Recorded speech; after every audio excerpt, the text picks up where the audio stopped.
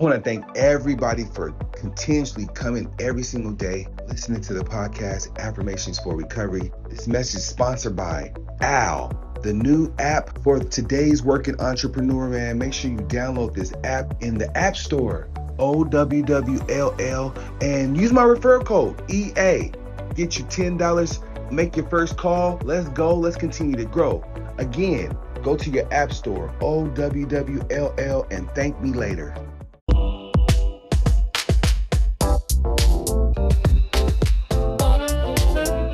Happy day two. Yes, journaling for recovery. We use affirmations. We do this daily, every day about the same time, because I believe mornings is the best time for recovery time and journaling time. Yes, every day is a is, is a good time for recovery, but morning specifically for me is when I get my journaling in. That's when I lay the foundation for my day. Journaling is so crucial and key to all aspects of my recovery that I come here every morning and I share. The past six months, man, it's changed, changed, changed my life, changed the direction of even my practice. I've got a lot of great feedback for affirmations for recovery. This journal exclusively on Amazon. You can get you a copy today. We on day two, and it's in and day two is about acceptance.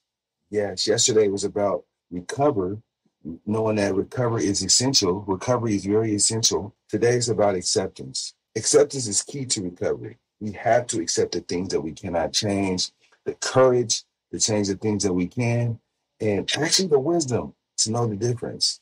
Yes. So happy day two. Let's continue to grow. Make sure you share. Make sure you're talking to people about journaling, how it's helped you.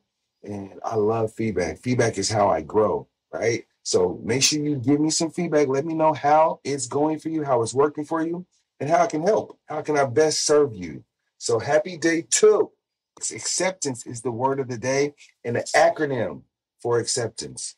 Active communication creates experiences people truly appreciate. Now choose empowerment. It's a choice. You have a choice.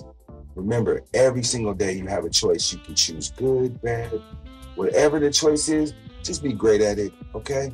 Happy day two. Let's continue to grow, grow, grow. Uh. The Affirmations for Recovery podcast is an oceantreecreative.com production.